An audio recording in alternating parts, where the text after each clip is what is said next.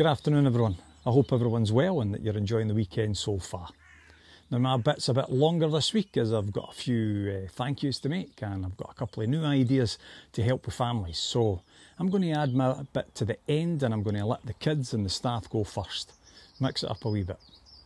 I'd like you to feel free to scroll to the, the bits you want, like Mrs. Morrison's transition information or Ellie's sports news, or do what a few folk do and just put the phone on the worktop and listen to the news when you're making the tea or whatever you're doing. You don't have to watch us, listening is just fine as well. And remember, essential stuff is still in the letters, still in text, or still in emails. This is just our highlights. So, over to the kids and over to the staff, and I'll see you at the end. Hi everyone, I hope you all had a lovely holiday. This week, our senior team worked with our junior pupil leaders to re- research, create, and present an assembly on International Language Day. They discussed the most popular and least popular languages around the world, including French, Spanish, Mandarin, and Ongota, the least spoken language around the world, with only 12 fluent speakers. Next week, our Dermot Assembly will be about raising awareness of Purple Friday, an annual fundraising day that aims to take action against homophobia and transphobia. And we look forward to telling you more about this event next week. The Exchange is a new counselling service available in school that aims to boost psychological well-being and develop resilience. The Exchange have worked in Wales and Scotland for 18 years and they develop their counselling plans to suit the needs of the individual young person. What's really great is that if you want to contact them, you can access them in three ways. First, you can speak to your guidance teacher and they can fill in the referral form with you, or you can scan the QR code just outside of guidance and it'll take you to the form that you can fill in yourself. And you can also find this link on their website. And third, if you want to, if you want to speak to them in person, they are doing drop-in sessions on Tuesdays and Wednesdays in room 1.32 um, from 1 till 1.30 if you want to see them in person. And if you want to know any more information or advice, go to their website because it's really good.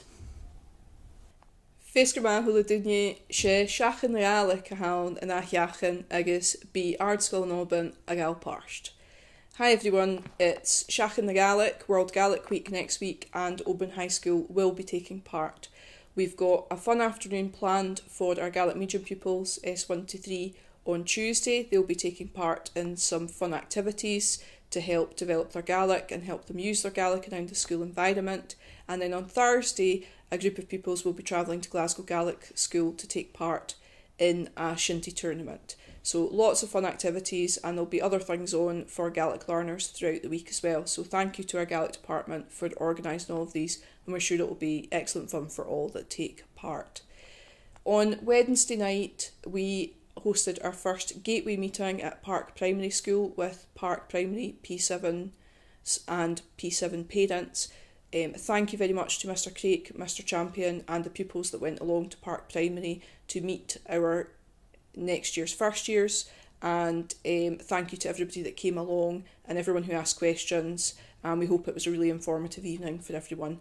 From the middle of March, we will be visiting other primary schools in the area um, information will come to you via your primary school, and our deputy head teachers, guidance teachers, and pupils are really looking forward to meeting you all or seeing you again in the case of some of the pupils and talking to you about life at Oban High School and taking your questions. In the meantime, if there's anything you would like to know about transition to Oban High School, please do drop us an email. You can go onto our website and find our contact details there. We would be more than happy to, to hear from you and answer any questions that you have. And please feel free to have a look at the school website um, and get any information about the school and ask any questions. Furthermore, we have the school app for parents, so it would be great if you're a prospective parent at Oban High School, you can download the school app for parents um, and just find out a wee bit about what's uh, what's going on at the school day to day. Okay, thank you very much, everyone. Hi, everyone, and I hope you had a good week. This week we had Jen Kemp from Live and Learn. She was in to do some uh, follow up study session skills with our fourth year pupils. The fourth year pupils uh, were taken through some growth mindset revision workshops, and the response so far has been really, really positive. And I hope that you can support your young people to prepare for the forthcoming SQA exams. We also have another online study skills session which is coming up on the 6th of March. I sent a notification out on the school app, and all you need to do is use the QR code and you can join that session which has been run in conjunction with Dunoon Grammar and Campbeltown Grammar School. Um, the session is running from 6 to 7 on the 6th of March, and there are only 100 places. So please, if you think that you or your young person want to take part in that, then please sign up as soon as possible. Next week, also, um, our senior leaders will be um, back on the um, the assembly trail. They will be um, hosting the um, I think it's Dermid Assembly, and the subject this week is Purple Friday. That's all from me. I hope you have an excellent week. Hi everyone, I hope you're well. Hope you've had a good week, and I hope you had a great um, February break as well. I want to chat to you today about choir. Now, I love my job as a deputy but I really, really, really miss taking choirs as a music teacher. So I'm going to take the school choir. Um, so we're kind of rebranding, reshaping, uh, changing the days, and so on. So we're going to do a Wednesday after school, four until five. And then if you can't make that, maybe there's things on. Um, I'm going to do like a catch up one on a Thursday lunchtime at one o'clock, and I'll go over any parts with anybody or anything like that.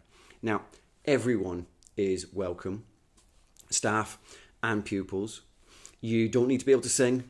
All you need to do is want to get involved with something new and, and take part. You might bring friends with you. You might make friends while you're there. It's a really, really exciting opportunity. We should have an amazing choir here at Oban High School. We've got some amazing musical activities already on the go. Let's really push forward to have an amazing choir too. Um, everyone's super busy at this time of year. So, like, why are you doing it now? doing it now because everyone's busy. And being part of a choir and singing and, breathing, even breathing for an hour properly is amazing. It'll decompress the week. It'll it'll make a nice evening for everyone afterwards. I guarantee that everyone will leave with a smile. We're here to have fun. We're here to make some great music uh, and hopefully some great friends as we go along the way. Uh, everyone's welcome. Please encourage your young person to come along on Wednesday, or if they can't make Wednesday, come along at the Thursday lunchtime, and eventually we'll join it all up together at some point. Um, hope you have a great week, uh, and I'll hopefully let you know. Maybe we'll have a wee clip, re recording for next week so you can hear what we sound like. Have a great week, and I'll see you all soon.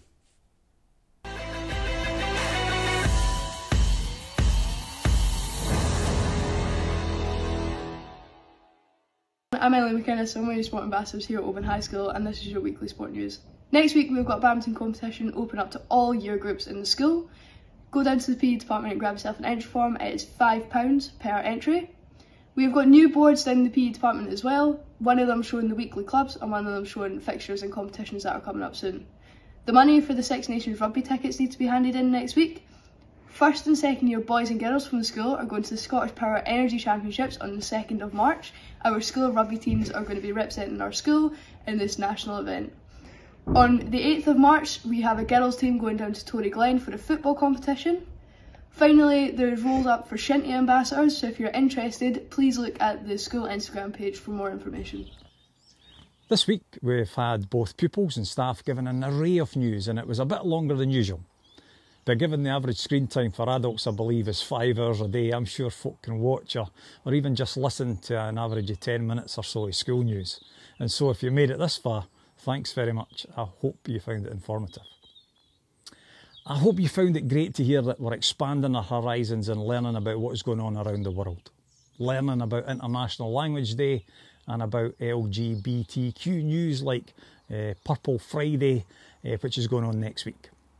Listen to our podcasts as well, and they regularly do issues that are uh, from news beyond the boundaries of Oban. I'm sure you were also pleased to learn that we're working with other professionals like The Exchange, our new counselling service. And I'd like to encourage you, wherever possible and wherever appropriate, uh, for you and your child to sign up and they can drop in past guidance. And of course, if you need more information yourself, as always, just email your guidance teacher or your family liaison officer and they'll give you more info. And talking to partners, I'd like to thank Jen for Live and Learn for doing another raft of sessions with our seniors. Uh, the experience that they got this week was superb. It's a, a second session, a follow on session from the work we did in November, because I don't think there's any point in just doing something once. We need to build on skills and we need to build on experiences. And I'd also like to thank all the parents who attended the November session and the session this week. Uh, it was it was great. There were parents there from Oban and there's parents there for Tiree, and the more we help you, the more you can help your kids. And similarly, uh, I'd like to thank Paul Galanak for Dunoon Grammar for giving up his time and running an additional session uh, for all our kids and parents, preparing for the demands of the coming months. Paul's session, as Aileen said to you, was on the 6th. Was on? No, it's going to be on the 6th of March, and uh, I'd like you to sign up. Remember, there's only 100 places, so book your slot now. Uh, now, these were just a few of the highlights that I wanted to reiterate, but here's my final thoughts, my final ideas for you. We've sought for many years to make access in our school learning and our school experiences as accessible as possible. Our uniform, that can be bought cheaply. No branding allowed means that it's cheap to buy. And we also give away any items that they need, like trousers or shoes or shirts, etc., in case anybody can't afford them. We'll look after them. And also, plain black footwear. Stop buying trendy, expensive trainers and send them to school. It just puts pressure on other kids and then that puts pressure on parents as well. But to further help the financial pressures that parents face, as well as the cheap, equitable uniform, I'd like to also bring into play some other ideas. Remember, no one needs to bring any subject specific items, although clearly bringing a pen, a pencil, rubber is pretty basic, but no even essential if you forget. We've also negotiated free travel on almost all the buses and the trains to ensure that the kids can attend clubs after school. And you're about to see that we're going to do a whole load of things on Saturdays and Sundays and, uh, and Easter for those who are getting ready for their exams as well. And that will all be free. Free tuition, free travel, free food, etc. Uh, we also give out Chromebooks for those who can't afford the device at home, if a family's really struggling.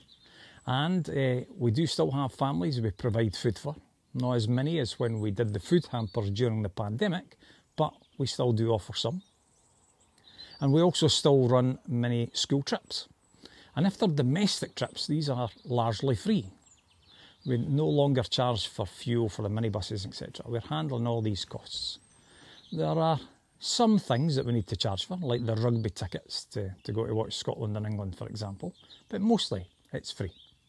Same with foreign trips. A lot of schools have stopped these as some families can't afford them, but we believe that these are part of wider life experiences and so we should still be running them.